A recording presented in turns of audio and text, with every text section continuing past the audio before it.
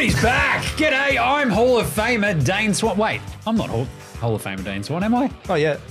I've got some tattoos, not that many. I'm Jaymz Clements. This is the AFL Today Show, your new favourite one stop shop for all things Aussie rules footy, of course. This is the Midweek Madness Show. It's Wednesday. Joining me are, of course, local weirdos, footy nuffs. Many, some would call them AFL experts. Uh, Alex Donnelly over there. You're using the word some quite loosely there.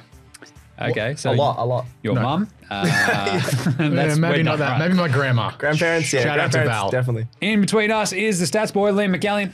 Yeah, still sad uh, after North's uh, loss on the weekend, but uh, Boston did help in the basketball yesterday, so that's okay.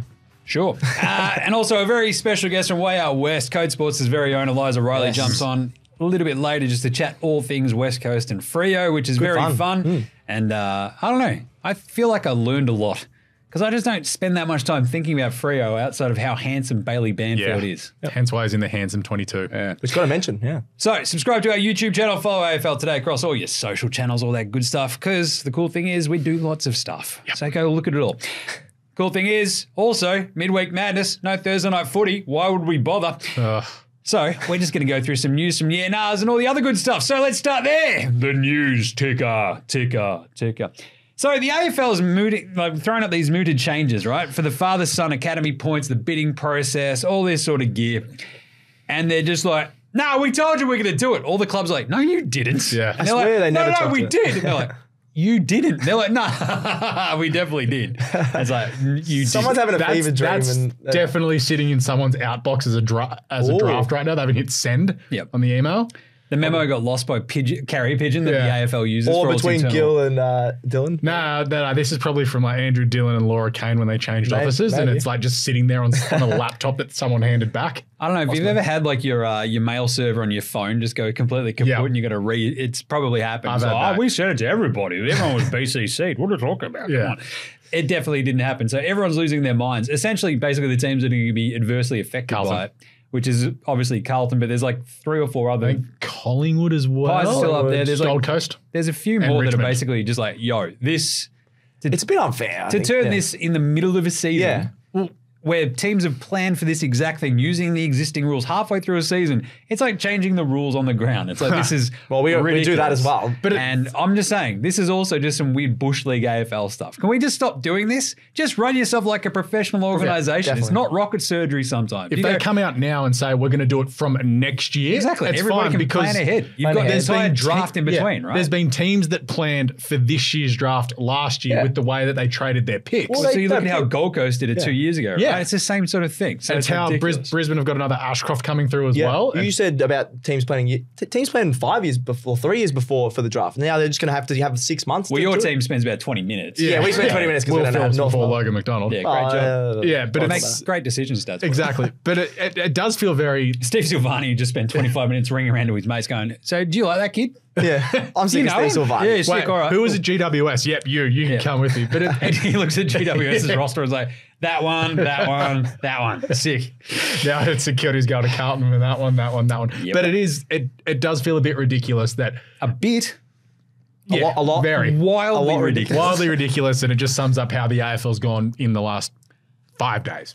Yeah. It's almost like if your CEO can't get a haircut, I don't know if they should be that. running Oh yeah, he's back to the an haircut. entire like organization like the AFL. but Gill never got a haircut. Now he's running oh, Tabcorp. He had cool hair. he had a haircut. He just stuck with it. Yeah. And it was like that was a haircut. that was his style. Andrew Gillen Dillon, he's just like, I don't even know what this is. anyway, uh, the other sort of mooted ideas going out there no changes to the drug policy, Sure. no national reserves comp, which I think is kind of, if you want to be, again, a professional league, I feel like we need to be building this out from the ground up. Right? I, I think we need under under 18s teams as I think well. under 18s need to be It nationals. didn't work. They had some we horrible players in the under 18s But it- comps. yeah, but you've When still that- got the under 18 national championships every Yeah. year, and, and that does work. But it's like you do need a national reserves comp, as Eliza Reilly will point out later, how pathetic West Coast's WAFL team is. Exactly. I think there's there's a lot more scope essentially for the AFL to be professionalised. I'm like Bring I'm back no curtain raisers. I'm no shrinking violet when it comes to criticising the AFL. We obviously all know that, but I think there's like you should be the amount of time and money that they've spent for years and years and years and years on, ju- on junkets are like, oh, we're going to go learn from the Fed. Like China, what for have example, they learned? Yeah, nothing. What have they learned? It's like, how do you build a professional sort of series of like, if you look at Europe, you look at like EPL has soccer their own academies, you look at all the way around Europe. 23s. You look at the USA, where the way that G League has now been built is like a second tier competition College for and the things NBA, like that. Yep. colleges as well, stuff like that, feeders systems. Simple as that. The fact that the AFL and Aussie rules specifically in this country is so widespread and like badly governed, clearly just down through these next levels, stinks. One thing Get I'll say on that is though, the standard is still getting better. Like, like It is. I, in my opinion. I Have know, a look I know at a lot how, of people would have a look at how uh, I think Yeah. it's Adelaide's reserves and West Oh, Coast agree that. reserves are Yeah. going. But I mean, in terms of like the footy, it's not like oh we we need to do all this because because our The standard game isn't sucks. good. Yeah, the game I'll- is I'll still pay getting that, better. But this is it. This, I know this you're is the yeah. sort of thing that should have be done 15 years ago. 100%, Like, 100%. We, now. we had curtain raisers in like 1996. The reserve, the national reserves would play Yeah. before your game, and I'm it on was board with that. That's great. Or at least just put them out at like uh, cool suburban ovals. Yes. Use them. Right. Other fun stuff. Sticking with the AFL. Laura Kane's like, nah, it's all good. Oh. That 50 metre call was fine. What are you talking about? do, do, do, do the. AFL really believe that that was the right call? Well, no, they didn't say it was the right call. They said there should have been a, a few other calls involved. They also ticked off the very Oh. clearly touched yeah. goal earlier. It's like, what? It are, are they watching this? I'll get to this again in I a don't second. care So let's the not AFL belabor this too much, but Yeah. like, wow. So they came out and basically said, hunky dory. Yeah. Nothing to see here, folks. Nothing to see. move along. Move along. think- Nothing to see here. Do It's they all think good. they instead of owning up to the problems, just say, "All right, we got it wrong. We'll we'll try and get it better next time." That's better. Goes back to my theory is because it was Collingwood that were advantaged. Who cares? But last year when Adelaide clearly got screwed, it's like ah no, we're gonna make everything better. And it's like eh, North Melbourne Collingwood. Who cares? all right. Other news. LDU. oh, I saw this. Your beloved LDU. Yeah, I had an MRI this morning. I'm just reading about it now because I haven't really read into it too much because I was like, oh, I'm a bit, bit, bit worried being a North fan. Popped off. It hasn't come out yet what's happened or really at all. but he- Undisclosed MRI. Undisclosed On his MRI. knee, right? Yeah, on his knee. On his that's the knee. only thing that's come out. So praying he's okay because his last month has been awesome. Yeah, Uh, he's been great. Yeah. Tough one for Supercoach, which we'll get to. And into Supercoach, later. which I have, Jeez. yeah, Supercoach. Callum Mills. There's a captain. Yep. Can you just not play your captain all year? Like, why? Why do you need him? I'm questioning. Like the who's greatest he- team in the last he 50 coming in years. for? Braeden Wicks? Campbell. Oh, Campbell. Yeah, Yeah, Braeden. Campbell. Um, I don't think his body's going great, to be honest. It says he's back in full training, but we've had the, this is him getting over the calf issue, but they've let slip a couple of times that oh he's had Achilles problems and groin problems. So Sounds like me. yeah, God, Hamstring He- awareness. Yeah, I, I- ran for a train what- the other day and I nearly died. My Oh. I pinged my calf this morning. It's not great. Oh, no. But no, I don't think his body's going as well as what they're letting on because they've not once. They said originally that oh yeah, second half of the season he'll be back. But in the last six weeks, they haven't given us oh around seventeen. Because you look at this Are they back in full training. yeah. The Swans play, I think, North Melbourne in like three or four weeks on a Saturday afternoon at the SCG. Like that's the game you Yeah, circle. circle I think because you're winning things like that, you can go. All right, He's we'll bring still back the later. captain and like Yeah. one of the most important players to the setup when he comes Yeah. back in. Ah, just kick that can down the road. Make sure he's healthy for finals. I You're reckon that's what they're Clark eating him.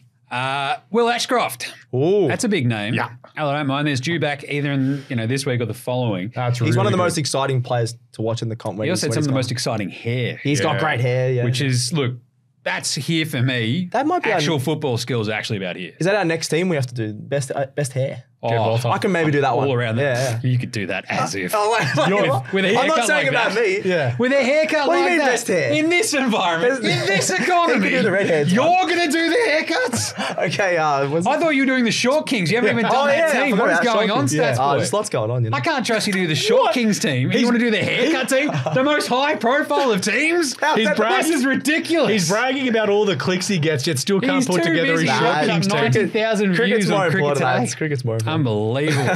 Get 90,000 Australian views, pal. Absolute Whoa. Hall of Fame big head on him. Uh, speaking of the Hall of Fame, Yes. that's what you call a segue, That's gentlemen. reckon that podcasting 101. That's professional podcasting. Uh, Dane Swan was leaked as a Hall of Famer to a, in a letter to its members. Yeah. it's not the first Dane Swan leak, so that's not It unusual. was, yeah, it's a much better leak than uh, other ones. Uh, always fun when you have the Mick Malthouse is the word guy. Ah, Dane Swan's awesome, and you're like, that's you've said a lot worse about Dane Swan Yeah, in the past. he's like, oh, I gotta say all nice things about. He's like, I've got four things I want to say that are nice, and then he's like, like Mick Malthouse is also the sort of dude who's built out this pros and cons list. Yeah. and the cons is like, remember when he did this? Oh god. Nah, I think- remember when he did this? Oh god. Remember when he did? The, oh god. remember when he talked back at China and nearly dumped his bloody head off? Like that is exactly what Malthouse has I think they had a good so. relationship because I remember Dane Swan used to say he was like his dad. Yeah, they were pretty much. exactly, Yeah. but that's- yeah, he, but he's, it's his it's son who he wants to kick Yeah. the Yeah, crap out true, of. true. true. it's the sort of dad who's just like, am I gonna have to kick this 16 year old kid out? Like, what am I doing? Like, this sucks. Also- but still good, mates. It's all when good. you look at a place as well it, with all the older guys. Like usually you see Hall of Fame. It's like when you're I don't know 50, 60 plus. They usually put him in the Hall of he's Fame. like my age. and, and he's Yeah, like half give- the age of everyone else there. It's like I think it's what seven years after you retire. Or I don't mind it because Swanee definitely should be in given it. given But his pet, like pedigree, Brownlow medal, Yeah. uh, Anzac Day medals, things like that. He's a walk up. I don't mind it. So- It just looked a bit out of place. The entire point of this is we're talking about the Hall of Fame inauguration Last session night. last night, Did which you is hear very fun. About uh, Jason Dunstall before we move on? It's like, oh, what's he like as a bloke? He's like, well, he's a great bloke, and you know, but he's the kind of person that would rather hang out with his dog than his mates, Well, and he get to- doesn't we'll own a to- dog. We'll get to legends in a second. So, but that's, That's a great awesome. call. That is a great. Just The rest of the Hall of Fame. So Dane Swan gets leaked. They also drop off the oh the Rat Pack, and it's like him, Heath Shaw, Didak. and you're like, who are these old blokes? it's Alan Didak. That's Alan Didak. How old am I? I know, yeah. He looks 70. What is going on? Dudes, get a handle on yourself. Don't buy another ute. Uh, Kelvin Templeton as well, fellow Brownlow winner, along with Dane Swan. Yes. Uh, Chris McDermott. Now, Chris McDermott, uh, he was the first captain of the Adelaide Crows back in 1991. Gave a subtle whack to how bad Adelaide are going as well. Oh, did he? I didn't see Oh, that. yeah. Uh, always been known as one of those sort of weird uh, power breakers out there in Adelaide.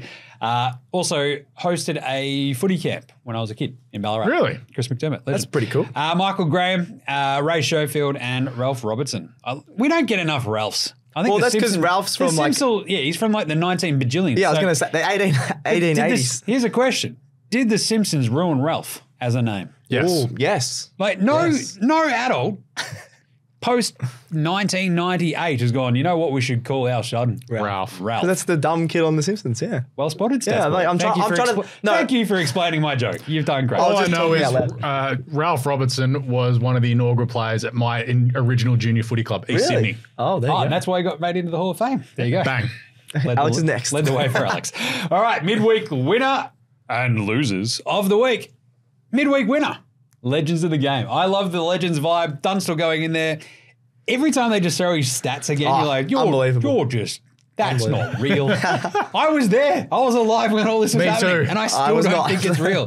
1,254 goals and like, He would have kicked more than Lockett if he didn't get injured late in his career. true that. Uh, I think everyone. Yeah, like he had a couple of like two years in a row. He's got 132, 138 goals. Then a couple of years later, 145, 123 goals. But look at That 96, 97, 98. Those last three years were injury riddled and he only kicked like 60 goals. If he stays Yeah. fit and healthy. 97, 98, 96. He still kicked 102. exactly. yeah, so sorry, Cherny, 90. I mean, he did his knee in 97. 98, it was like a down year, and he still kicked 54, Sorry, which yeah. could win a Coleman in modern footy. 96 in the final against the Swans, he injured himself, and that's sort of what set him downhill. Yes, yes. And if he stays fit, I reckon he kicks 1,400. Sure. It's unbelievable. Uh, Cherny brought up the on Twitter the question like, what happens? Would Fitzroy still be a club if Dunstall had gone there instead Ooh. of to the Hawks? Or like Carlton never apparently got back to him. I think he Hawthorn has a point. You got And like, if Fitzroy have like a hundred good. goal kicker, he's Yeah. like just absolutely smashing it. Maybe crowds go with- through the roof. I was about to say Paul Roos delivering it out to him as Yeah. well. He wouldn't Gary have left. Pert in the back line. Yeah. All the good stuff. Lynchy there, just Nathan learning Buckley off him. was there at one- uh, in the 90s as well. Buckley wasn't Oh, no, Fitzroy. Yeah. Didn't he get? Didn't he, He start was there? Brisbane Bears. Brisbane Oh, Brisbane Bears, Bears. yeah. My bad. My bad. Different teams. Yes, yes, Yeah. yes. My Pay bad. attention stats, man. Yeah, I was not and alive. Loser of the week uh, is the media leader for dumbest idiot made of a player. uh, Brayden Maynard, who we all know is a war criminal. Um, Connor Clark, uh, the bloke you might remember, was out there and got busted for running on the field. I was there. That was that was pretty funny. He almost got away. I well. didn't even know that there was a pitch invader till. Well, they're not allowed to show it on TV. See, they didn't even mention it on the Nah. on the commentary, so I didn't know till I read it in the paper on Monday. They're not allowed to anymore to to stop people from doing and getting their like famous famous. Uh, Can't you just say there's an idiot on the field? No, they're not allowed to apparently. I do like it. So, oh, we don't want to encourage it. It's like, like but we kind of want to see it. But social media, yeah, exactly. Yeah, it was funny at the game as well. There was four, they, the four security guards stacked on top of it. Because most of the time, Nice. you just like, Nothing This- will beat the one where that Kiwi security guard absolutely cut that dude in Yeah. half. Because this is it. I feel like security guards come in two different forms nowadays. One is the one who's actually going to delete you off the face of the planet, and the other one you could probably get away from him, right? One, you Because might he's just like, oh job." god, I've got to do my job. Actually, just see the one. I'm one. getting paid twenty dollars an hour. I'm sitting on a plastic chair. what am I meant to do again? Oh god! The funny thing is, oh both- no, I've got to do it. what he's about the already he's already halfway over there. like, what am I doing? Did you see the one of the baseball get shot with the taser gun? Yes, the ta- he, did a, Oh. he did the flip and then he got tased, That and it looked was uh, painful. That was pretty But fun. both no, but that's instances- American. Like next time they'll just shoot him. So like, Both you know. instances Jim has said though, you could lose your job. The, the guy that's like just dawdling over, and then the other guy that just deletes Goes someone. under the They're elbow. like, mate, you're not supposed to clothesline him. It's still assault. yeah, exactly. like God. Ben Keays trying to ragdoll the dude that walked into the middle That of was the play. great. That was great. But anyway, so he has already been, I think, Banned uh, for life. Banned for life with uh, at least a 10 year, uh, a 10, 15 year, I Five think. year. Was it five? Five year parole, basically. Five year parole, basically, where they're going to reassess. Which life to five years. Five to life is nothing. I reckon it should be at least 10 to life. Come Yeah. on, mate. Like, there is a very special idea. Like, it is very cool going to the footy with your mates. You take that away from somebody. Yeah. Don't run on the field. But also, ta- tack on another five years for being a dumb idiot and posting a photo on social media with the With grass, the grass stain on your leg, pants. yeah. just the dumbest just of idiots. Let's do some Yunas really quickly today because we've got Eliza Reilly coming up after this. Hey, should Connor Rozee have gotten Butters. off? No, Zach Butters. Zach Butters. Butters. Uh, should Zach Butters have gotten off? Uh, Yes. he should have because he's on my uh, Supercoach team and because he's awesome and I love him. But he hit someone But in also, he hit a dude. Like, what are we doing here? Hit, slap with literally the, the palm All of right, his hold hand. on. All right, I get to slap you All in the fine, face, good. and It's I don't get in trouble. Exactly. Well, hey, Zach Butters is on camera. He didn't get in trouble. Zach Butters did this on a footy field. Alex can now do it to Stats Guy. HR, you can't do anything. Let's Yeah. go. Go on. Christine's internet's gone. No, genuinely, I think that was not that bad. If I all right, if he actually hit him or hurt him or like he just tapped him, come Mason on, guys. Redman got suspended for the exact same thing. I feel like at the start of the season, you guys would have said that. No, I- to be honest, I'm just basically I I'm happy he didn't get rubbed out because he's on the Supercoach Same, team. but uh, I don't think it was mostly though, This is like you telling your kids not to hit each other in the face. this is it. I still reckon Pendles and Lachie Neale, everybody's like just you know the short arm Jesse Hogan.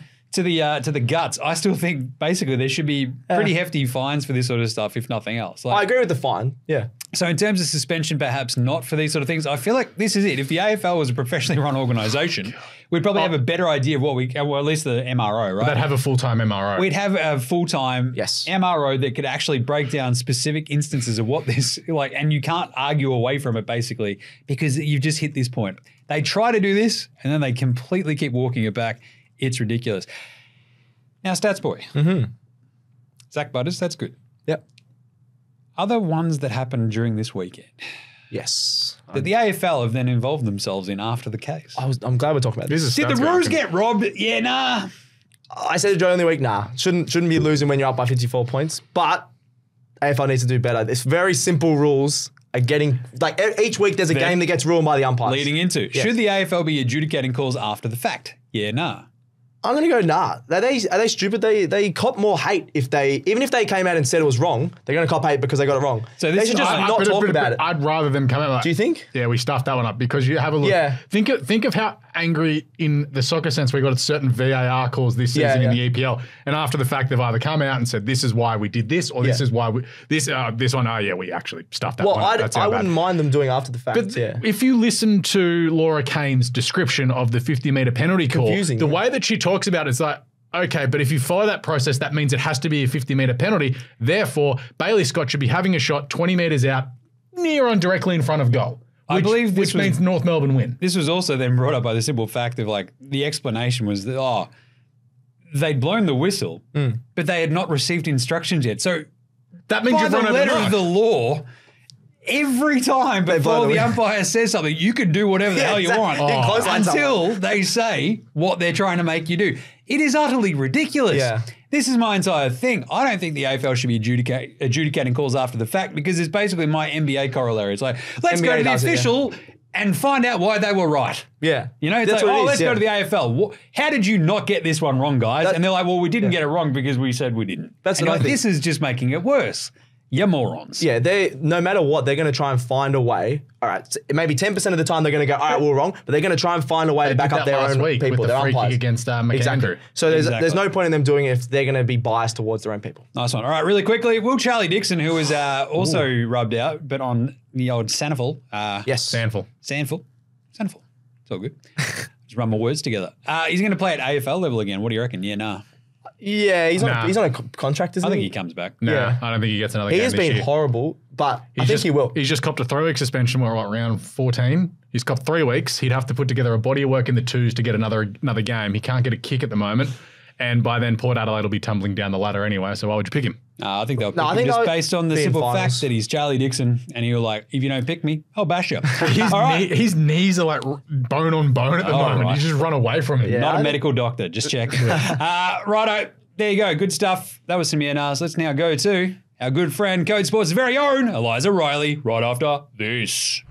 All right, now we welcome on from way out west. My good friend Ben Dixon would start singing the song. He, he really would. He, he loves leaning into having us sing. Anyway, it is Code Sports' very own Eliza Reilly. What is going on, Eliza? How are you trucking? G'day. Um, yeah, beautiful day out west. Both clubs sort of not much on today, to be honest. So, so it got me on a good day. I don't have much to do, so I thought, oh, Perfect. Works out very nice. Uh, I mean, is that just basically they've just like, all right, we don't have Harley Reid for another week. Let's put the queue in the rack and just like not do much. yeah, yeah, that's literally it. We're just planning um, our um, seceding from the rest of Australia at the moment. So we've got two weeks of planning, um, and then we'll get back to you guys in a fortnight as to what our future plans That's are. great. I love it. That What? big wall so he doesn't leave as well. yes. yeah, the no Harley zone. It's like everything. Everything but Everything WA. Um, what's the vibe been out with, especially we'll start with the West Coast Eagles. Like after last year's just soul sucking disaster, now this year, like what, three wins already? Like, what is the vibe over there for Eagles fans? How are they feel outside of Harley Reid? Like, how are they feeling, do you reckon?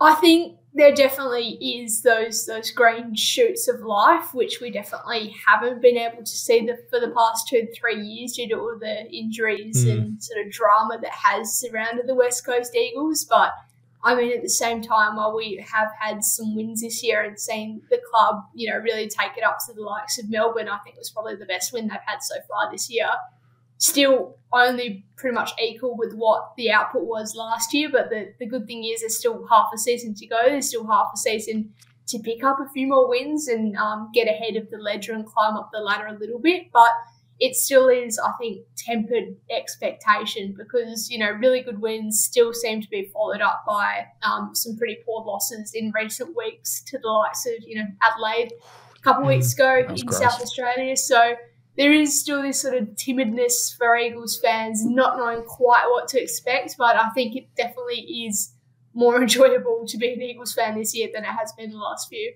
So, outside of our beloved, whoa, Harley Reid, uh, what are the other points of optimism for the team, do you think?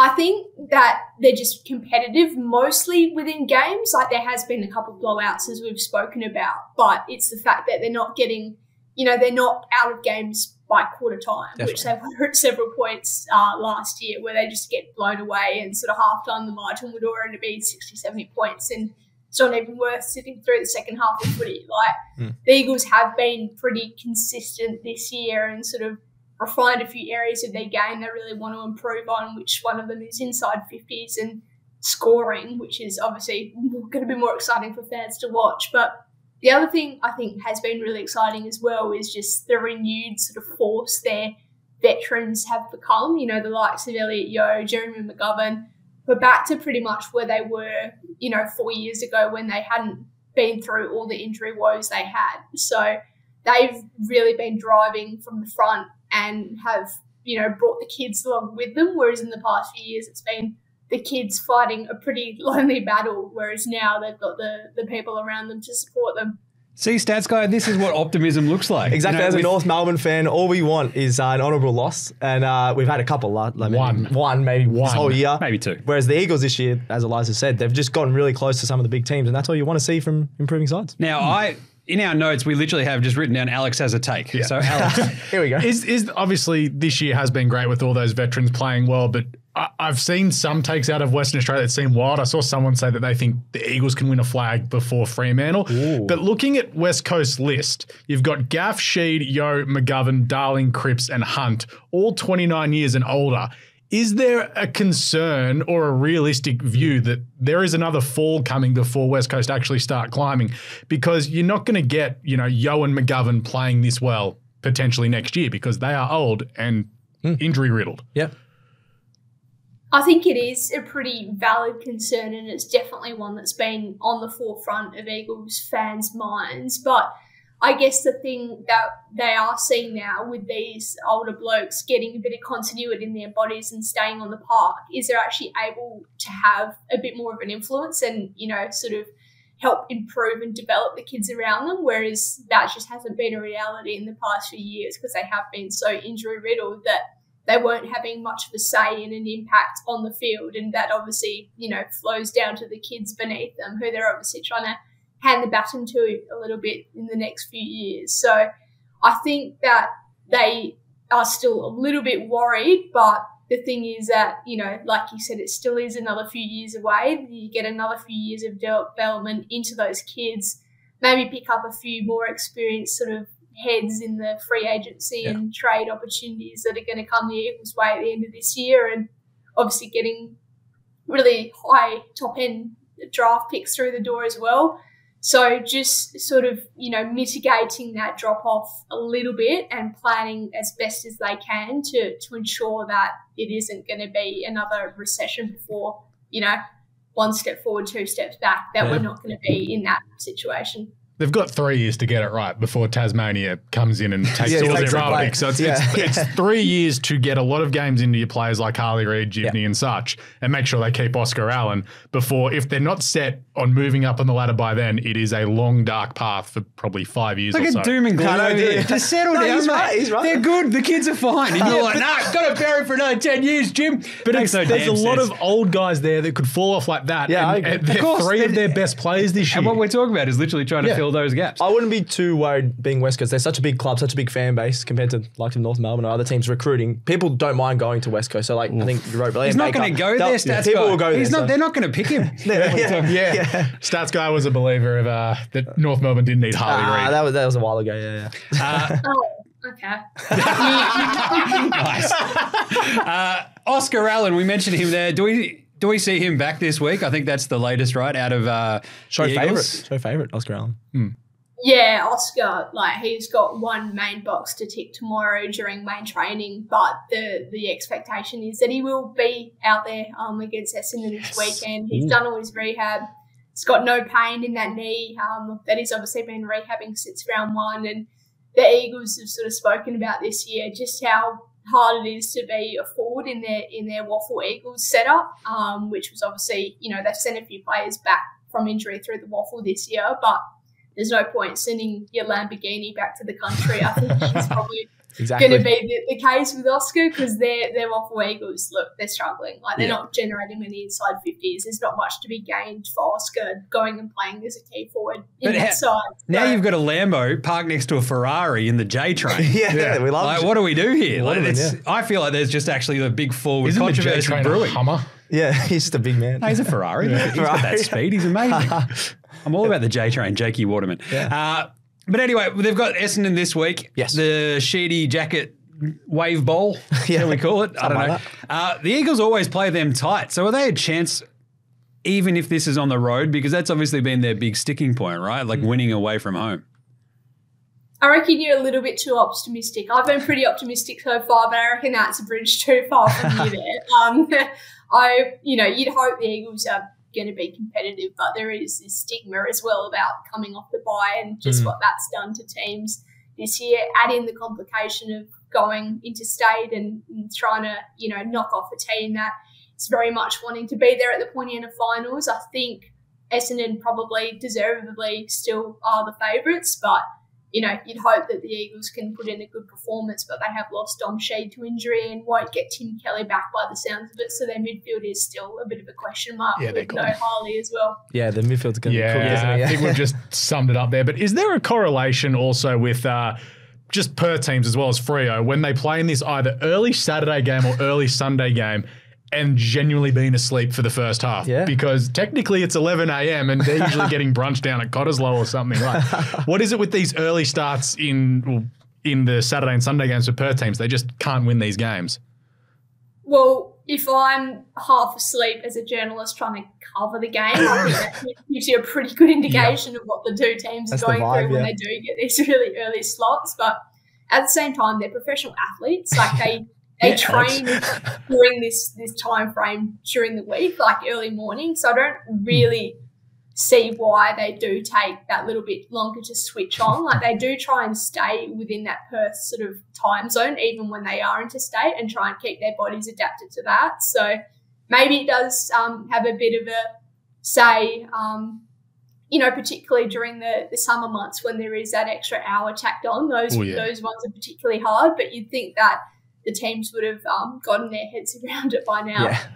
I just saw a lot of complaining last week from Freo fans going, "Oh, we're in the early game. The Oh, boys are still come on, waking up." I feel fans. like you just search out complaining though. I don't know how you do this. That's it's just like his every yeah. every yeah, your algo is just everyone yelling at you or people complaining. Yeah. And you're like, everybody's yelling about this. It's like two people are yelling, Alex. You're one of them. That's enough. That's I enough. don't, yell about- I don't, I don't care about that. Anyway, over to the Dockers. Uh, can you convince us that Yeah. Freo aren't frauds, Eliza? What are we doing here? I mean, they Roller smash coaster. Melbourne Oh. and then they come over here and get smashed by the dogs.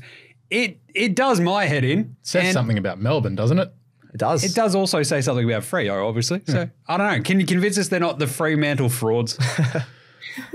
What happened to Flag Mantle? We're chanting that. Oh, yeah, that was a couple now weeks ago. Suddenly Yeah. it's fraud mantle. What's going on? um, I think what happened on the weekend against the Western Bulldogs is the Dockers completely lost sight of their identity. Mm. Like we know, as frustrating as they can be to watch at times this year, their best football and their best wins have come when they're that really dour sort of defensive team who are conceding low scores and you know, their sort of ball movement and attacking opportunities stem from that. And it's sort of, you know, put two pieces of the puzzle together and then the third falls into place naturally. So I think they got lulled into a bit of a false sense of security with what happened against Melbourne and just how easy it was for them to, to pile on scores. And, you know, what was it? They kicked 141 points. Yeah. But Very rare for Freo. Fremantle, like doing that. So I think they got maybe a little bit ahead of themselves. Thought, you know, we can play this sort of shootout style of footy and, you know, pile on the scores, and it's just not going to work against the better teams in the competition. Like they are a defensive team and they strayed away from that. So if they can get back to that sort of, you know, contest defensive method, you know, I think they can be be there thereabouts in the race to the top eight. But for me, I, I'm still going to take a bit of convincing. Hmm, I like it. I mean, what's the vibe locally around the Dockers though, right? Like they're they are obviously super talented. Um, Flopped last year. yeah, like last year was a disappointment, I feel like, but they can sort of have these moments where they look wildly dominant and it really seems like they struggle to stay dominant. Like, what do you think? Yeah, hundred percent. Like they just they sort of seem like they're not confident in their own ability um, at this stage. Like they're still a pretty young team, but they're not they're not walking the walk. Like Mm. we all thought heading into that Western Bulldogs game, you know, this is a chance for them to make a statement. This is the chance for them to say, you know, we're going to be right there and abouts in the top four hunt come the end of the season. And then we see what happens on the weekend. They they fall in convincing fashion, and it was like a hundred 57 point swing from their result the game before Crazy. where they beat the Demons by 92. So I think that they do need to get a bit of swagger, to be honest. They need to sort of develop that self belief in themselves because when they do play their best footy, which is obviously defensive, they have taken it up to some pretty good teams this year. Like obviously drawing with Collingwood, um, you know, a week before they did what they did to Melbourne. So I think that it's going to be a case of them actually believing in themselves a little bit, but whether they think they're capable of doing it this year, you know. I'd argue it's because Why? Bailey Banfield and Andy Brayshaw are too handsome. Too handsome. Bailey Banfield is very handsome. Were they both in the handsome 20, Brayshaw 22? wasn't. Bailey Banfield was. Yeah, well, Banfield was definitely in your handsome Yeah. 22. 22, yeah, Andy Brayshaw should probably crying be. for recognition of Bailey Banfield. Yeah. I didn't expect it to come in the form of the most handsome players. I was thinking all the young stuff, but you know, we'll, we'll take it. Bit of We're, both. we're on top of the important matters here, Eliza. Don't get me wrong. Awesome we've got this- dudes. Was and most was Fyfe handsome. in there? If another Nah, film? Fyfe was Oh, not. His, his body's broken now. Oh, Oh, that's Nah. a bit stiff, I reckon. Yeah, Speaking of Nat Fyfe, what do we do with him? Because Ooh. it seemed like having him in the midfield on the weekend, it obviously didn't work. And mm. hindsight being wonderful, probably should have tagged Bont in games where Freo do need to have a tagger and shut someone down. Is that where like Fyfe goes in as the sub and someone like a, a Clark can do a run with role, or does that take away from Clark's best abilities? And I just don't know what to do with Fyfe personally. Hmm. Yeah, I think when the Dockers have tag and it's been a bit sporadic this season, they're generally not the team to do that really hard, you know, sort of one-on-one tag that we've seen return to fashion a little bit in recent weeks. They generally send Hayden Young to the person they Yep. want to clamp in the midfield because he's that big body, He's stronger, yeah. defensively minded, obviously coming from the halfback um, last year, he's already got that defensive mindset. So he's been sort of the go-to for these defensive roles, and they um, have generally backed in their own midfield on most occasions to get it done, which isn't the worst call considering they are, you know, the best clearance differential team in the AFL. So it hasn't, you know, wronged them too many times this season, except for the Bont on the, The Bont, weekend. yeah. Yeah, Um, that, that didn't work. also, when Nat, Nat Fyfe tried to run through Isaac Heeney, that really didn't work either. no, no. That was funny Yeah. though. it was good fun, yeah. Uh, do you see a resolution in the Dockers sort of two ruck conundrum, like between Luke Jackson, and Sean Darcy? Like, how does the second half of the year play out? Do you think? Yeah, it is going to be really interesting, but the thing that still is in Fremantle's favour is just that they haven't had these two on the park for long enough to really develop that True. continuity. I don't think. Um, you know, given Sean Darcy has been injured for pretty much this whole season, he's obviously strung together a few games now, but had preseason knee surgery, got back, did a calf, missed a few more weeks, finally got back, and is finding basically his feet. Like this is basically his round one, two, three, given he hasn't been able to string together games of football this year. So I think if the Dockers um, are going to get it right, they need to rely on getting scorpion impact from one or both of them. Because if they can't, there's there's probably no place for both of them in the team. Like they really need to get two, three goals out of Jackson a game, which Yeah. they did on the weekend. Mm. Jackson was pretty good up forward. But Darcy as well, you know, he's probably the one who's more of a ruck than a forward, whereas Luke's more versatile. So Sean, you know, you can't really afford to just sit him on the bench. He needs to develop his forward craft a bit more. And if he can do that, then that's how the Dockers will make it work. I think the ruck thing at the moment is you either have long hair or you're bald, and if you're in between, Sean you're cooked. Darcy, Like this is Luke, it. Jack- Luke Jackson's got Luke the Jackson long long hair. hair. Brodie Yeah. Grundy, long hair. Brodie Grundy, Yeah. long hair. Tommy Gorney. Coney, Gawn long has hair. a little Gawn, beard, long bald. beard. See, it's just simple. I look at things in very I think simple uh, terms. Briggsy's got the crew cut though, so. Yeah. Yeah, true. Cherry's Yeah. got a helmet. that helps. But would you, it, if this doesn't work out, because Sean Darcy's body is obviously becoming a problem with a lot of injuries in the past two seasons, the investment into Luke Jackson, given he's what, 21, 22, he's the guy there for the next decade. Do you cash in on Sean Darcy, given he's on such a fat contract over, I think it's what, the next five years, and try and get a first rounder in because it's like his value won't be as high this time next year if he keeps getting injured? Yeah, it's it's a great question for Fremantle to ask themselves because they, you know, they wanted him on the list long term and he's now signed until 2030. So Yeah, that's a worry when he's Shit. getting injured, isn't it? Yeah.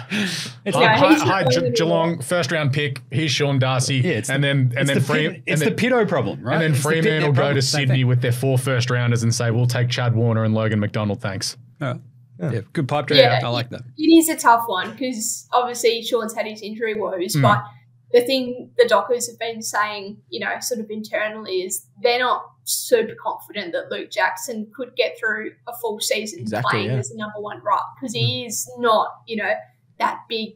What do they call Luke? Um, Thick Sean boy. Darcy, the bulk. Yeah. That's one No. way to put it. Thick boy. Sean He's Darcy, not a big fella who can come up against, you know, your, your Grundys, your Yeah. Toby Nanks on a week to week basis. Like he, his body will break down a little bit if he is Yeah. forced to do that. And that was the sort of thinking tying up the two rucks at the same time. So it is a really interesting um, hypothetical and one definitely to keep an eye on. But the, the caveat is that Luke Jackson isn't quite physically developed enough yet to, to bang around on a Well, that's to a yeah. No, good call. basis. Twenty-one. Yeah, he's, he's 22. Still, Oh, 22. 22. Turns 23 in September. Yeah, Okay. still young, yeah. That's Uh, child. Freo have Gold Coast on Sunday. Two young, fun teams. I use fun pretty loosely when I'm talking about Freo, but What do you mean? like, They're fun. They're fun. They are fun at times. This is the thing. So wrong. I I kind of need them to be fun all the time. Uh, the thing is, Perth is very clearly below the 28th degree latitude, so Gold Coast are definitely not going to win, right? so, because this is our entire theory on the AFL Today show that once Gold Coast go below the 28th degree latitude, they have no hope. Out so, of Freo should be fine on Sunday, right? They should be, and you'd hope they would be, because if they don't issue a response after what happened next weekend, then the fraud mental argument becomes Oh, headlines. I love it. but it. it's yeah, you know that as you as you've mentioned, the Suns have really struggled Yeah. to travel this year. But the thing is, they have um, had some wins in Perth against West Coast, Warm. albeit in the past few years. But they do seem to like Optus Stadium um, a little bit, and obviously smash the Eagles last when they were here this time last year. So there is that up their sleeve if the Gold Coast really want to put up a fight. Um, they seem seem to like the the Craypot Stadium, um, but it's a bit of a up in the air because Fremantle you'd expect will come out breathing fire and really want to get back on the winners list after what happened last weekend. Love it. All right. There we go. I think that's it. Uh, Eliza, thank you so much for jumping on.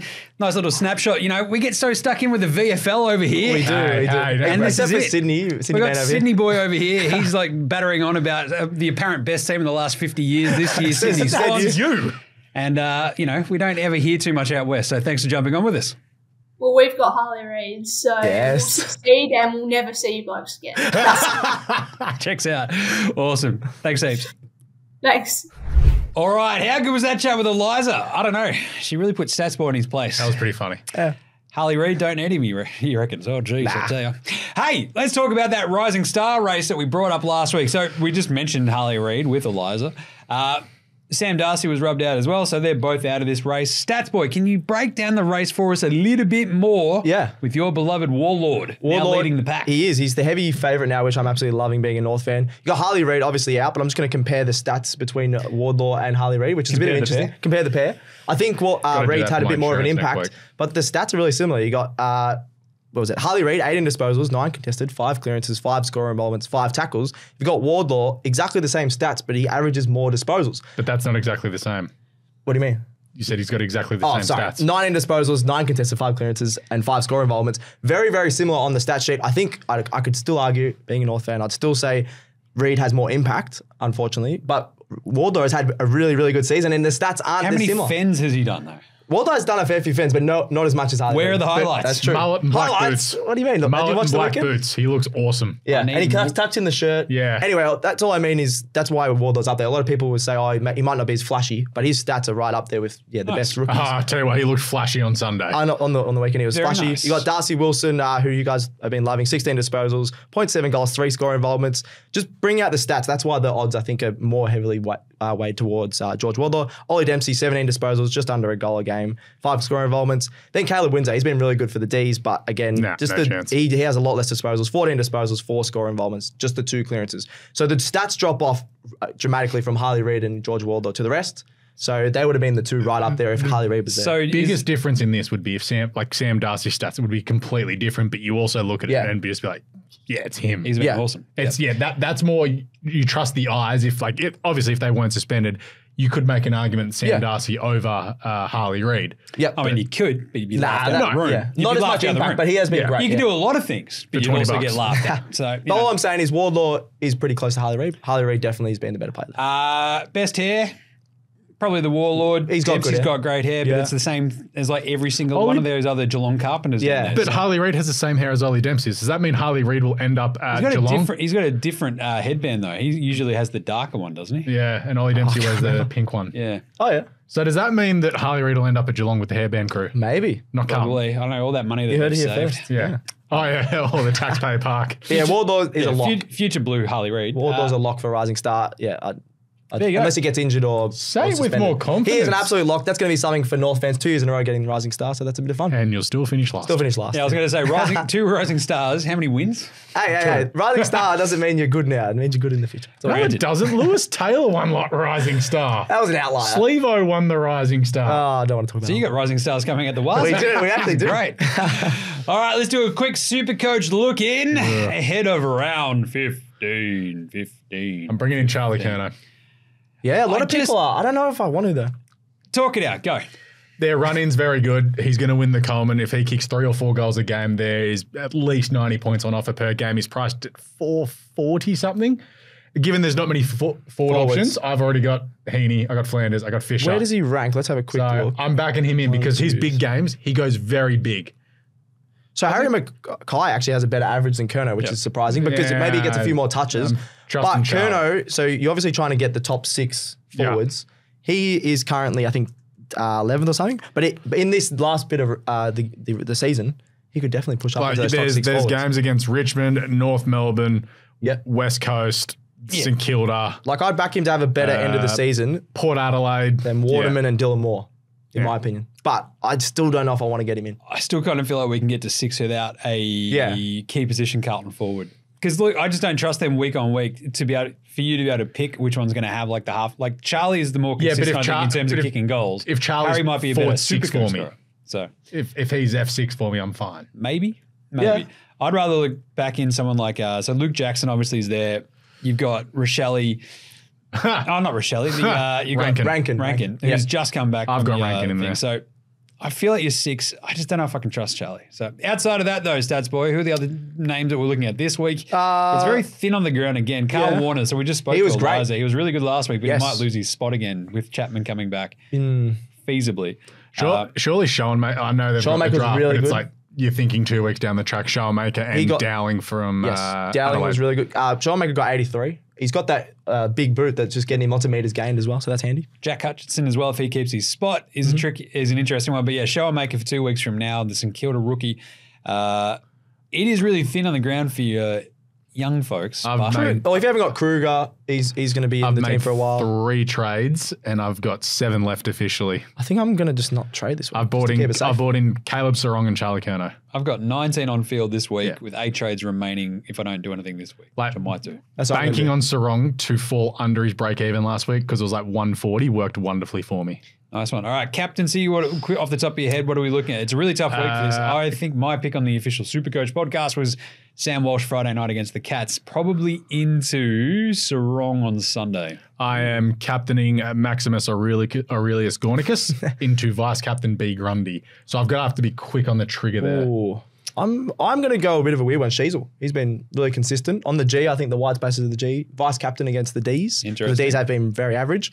And then captain possibly. When does Sydney play? Sydney play 4:30. So basically, as soon as Yarbo. that Swans, Maybe vice captain Grundy into That's what I've- into yeah. Sheezel is might might be a bit risky, but See, yeah. because that's the thing. I'm vice captain Grundy into captain Gawn, mm-hmm. and it's 4:35, seven. Gawn against 7:30. Cherry is a big one, but Gawn can dominate anyone. So.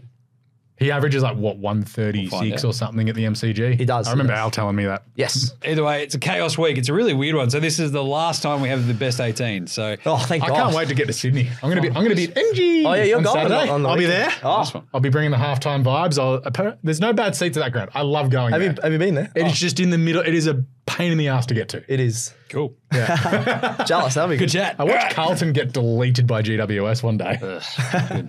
All right, that'll do us for the midweek madness show of AFL today. For today, we'll be back tomorrow with the AFL Today show, of course, for the Thursday night teams show. Uh, thank you to the Dinguses for jumping on, Alex. Yeah, cheers, Jim. And the Stats Boy. Thank you. And of course, our very good friend Code Sports is Eliza Reilly. Very fun to get the uh, down low out west. Because really, I don't know, man. We just don't like if Harley Reid's not like firing up. I, I- spend I a love lot. I Freo, spend like yeah. eighty percent of my time thinking about J Train and nothing else. Yeah. So. I'm more just thinking about Bailey Danforth. I'm thinking about Oscar Allen Gotta get the. Oscar Allen t-shirts, Yeah. man. Anyway, smash a like across all of the socials for all of our shows. Cricket Today podcast, Football Today podcast, NBA Australia. After a massive NBA finals, we've got winners and losers coming up. Hold all tickets as well. Yep. Uh, YouTube, Facey, IG, TikTok, X, you can find them all there. Uh, get around all of those. Subscribe, star. What else do you do? Tell a mate.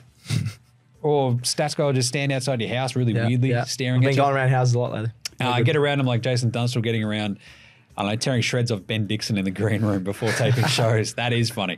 Uh, I did enjoy the Dermy story because like Dunstall is like a very personable dude. But very you can chill, also see yeah. it's just like, I just don't care. He- like, Loves you're a his legend- alone time. When you're that Bachelor much of a legend, yeah. like you don't have to care. Yeah. It's pretty cool. So good on him. All right, that's it. We'll catch you tomorrow for the team show for more AFL today. Until then, look after yourselves and remember, Footy's back. If you like this show, make sure you check out all the other shows on the Sports Today network, from the AFL Today show to the Cricket Today podcast, the Football Today podcast, as well as NBA Australia and NFL Australia. With Sports Today, your sporting needs have never been easier to cover.